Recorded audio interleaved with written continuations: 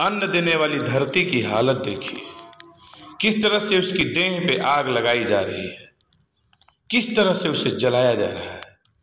जो धरती अन्न देती है, जिस धरती से हम आश्रित रहते हैं, जिस धरती से, जिस धरती पे हरी हरी फ़सल लहलहाती है, आज मनुष्य उसी धरती की देह पे आग लगाता है और जल जाते हैं धरती के कोख के अनगिनत कीड़े मकोड़े जो धरती को उपजाऊ बनाते हैं, जो धरती में रह करके धरती को उपयोगी बनाते हैं।